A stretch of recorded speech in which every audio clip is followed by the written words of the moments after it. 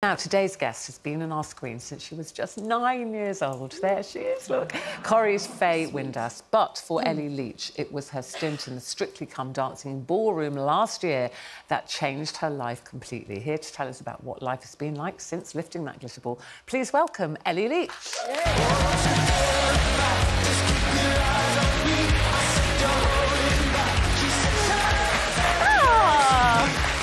Look how look how easily you skipped down So those lovely to be here. Lovely to see you. I mean, it's exciting because I don't know if you saw earlier on this morning they have unveiled two Strictly contestants. have. Sorry, spoiler alert. Um, if you weren't watching before, you don't want to know.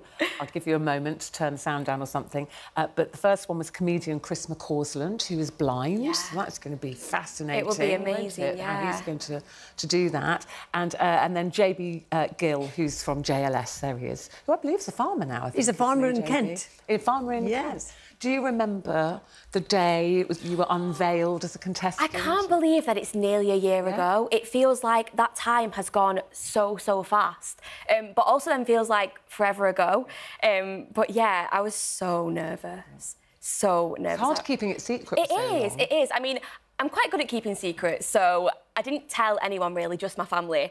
And then when like kind of my extended family and friends found out, everyone was like, I can't believe you never told us. Um, but yeah, it is like a massive secret to keep. And Ellie, I mean this in the nicest possible way, but I watched you, of course, I, did, I watched it Strictly, but you evolved into quite the most beautiful woman on screen. Did you, do you feel that it changed you in the way? Yeah, definitely. I think obviously I was on I was on Corrie for 13 years and growing up on that program was amazing but I was kind of doing I was the same character for so long and I was a character so I found it quite hard to to be myself um, and that's what Strictly gave me. It kind of gave me the confidence to to be myself and just kind of have fun with it I But loved also, it I mean, you talked about it a lot when you did Strictly, and you were talking to Claudia afterwards, because you are being a different character every week, aren't you? And, I- and yeah. you're an actor. I, I wasn't, and I found that kind of like Yeah. Mm-hmm. one minute I've in a short bob doing the Charleston, then it's the waltz. But each week you thoroughly embrace that. You said, I love being these different people and being pushed out of my comfort zone. And when, like Gloria said, we could see this this confidence Yes. coming, and it was amazing It to watch. was amazing, yeah. I think obviously people must have thought being an actor, you would kind of take it would be easier in a way um, to kind of take on characters throughout each dance every week, but it wasn't. Like obviously, it was still so nerve wracking, and um, I get. I would would worry so much, um, but yeah, I loved it. I love being able to kind of be different characters. I mean, obviously, Strictly has been in the news for all the wrong reasons very recently. You can't fail to have missed that. You know, these allegations of some of the participants saying that they were treated unfairly or bullied.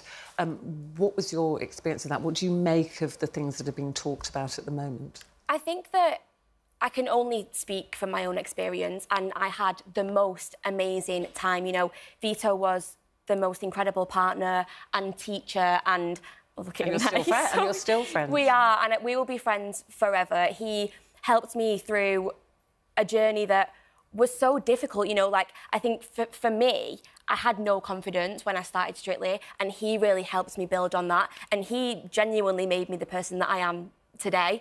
And I'm so lucky to have had that relationship with him um, and the experience that I had. It was incredible. Yeah, well, we could see, we could see that. So moving on from Strictly, you've got a new stage show coming up, haven't you? I Can you tell us a little bit about that? Yes, so I am currently starring in Cluedo 2, which has been touring the UK since February. Um, we've just finished in July and we we've got a break for August. Um, we start back in September till November touring the rest of the So UK. Clu- this is based on the board It's game based that on we the all board know game, and yeah. love of And, uh, Cluedo. yeah, and even if you haven't played it, um, you kind of know what Cluedo is. You know, the characters are so iconic, and it is a murder mystery, but it is also a comedy, and I think people don't really put them two together. Um, our director, Mark Bell, who directed The Play That Goes Wrong, um, and our writers, Laurence Marks and Maurice Gran, who wrote Birds of a Feather, um, they are incredible. It's an do amazing you play? team. I'm playing Miss Scarlett. Um, yes, you've got my colours on today, Miley. I'm like, I haven't since since finishing in July. I haven't wore any red. I'm like, shall I just stay away from red. red at the minute? And tell, Um, what's her character like? I think that Miss Scarlett is. I like to use the word charming. She's quite charming, but I think you know it is a murder mystery, and all of the characters maybe who they aren't who they claim to be. And can the is it like audience? Can we be the detectives in the audience? Well, yeah, like you know, you you you, you kind of come and you see the show and you see how the characters develop and how they interact with each other. Um, and I think as an audience member, you definitely start to pick up like who who maybe did it with what and where. So yeah, it's it's basically the board game But this is Cluedo. the first. This is your stage debut. It is. So first time in the theatre on stage, live audience. Yeah, yeah, which was very, very scary. But I think, you know, I was on Corrie for, for 13 years and to take the acting skills that I learnt there and then marry them with the kind of live as- aspect um, of Strictly, they've both really helped me and kind of prepare for, for my stage debut. So yeah, I'm having a lot of fun and it's an amazing show. It's a it's a lot of fun. It's it, it- like I say, it's a comedy, so I think people don't expect that when they when they hear murder mystery. Um, so yeah, it's a, just a really nice bit of entertainment. Well, parents must be so proud. Oh, I hope must so. be so proud of you. But we have been talking about embarrassing, embarrassing parents. And please make us all feel better. Yeah, Have you got embarrassing parents? Yes, I think everybody's got embarrassing parents. I think that everyone is, uh, to some extent, Oh, embarrassed. look, oh, look at they them. There they are. Um, but yeah, I'm sure that. I think everything that I do in my life, I just, I just want to make them proud. I want to make my family proud. Um, and Is, is one of them a singer or just in public, just to embarrass you? no, my dad likes to just make up songs randomly. So like we just we've just been on holiday, so I've spent two weeks with them, and from the minute we stepped foot in the airport, he's. We're going to Tenerife. I'm like, right, Dad, nobody needs to hear this random song that you've made up. And like someone's name, he'll make up a song about that. Or yeah, he's uh, he's He very sounds funny. great. Yeah, he's a great laugh. He is. It's fun. Yeah. Actually, I want to go back to Strictly for a minute. Nothing to do with the present sort of um, storyline.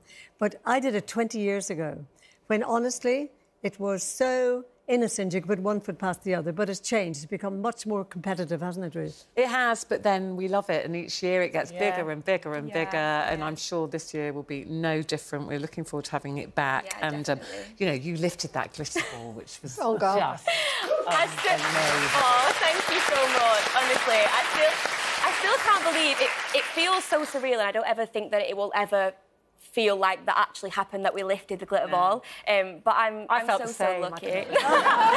Listen, uh, just say that Cluedo uh, 2 is the next leg of the tour, starts on the 3rd of September in Leeds. Lovely to see you. Thank, you, very so much. Anyway. Thank you for having me.